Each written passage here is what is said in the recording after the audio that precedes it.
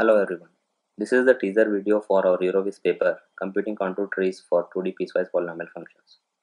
Scientific data like heat dissipation on a thermal conductor is intrinsically smooth and is best modeled by higher order interpolants. Existing approaches for topological analysis of such data requires costly piecewise linear approximations.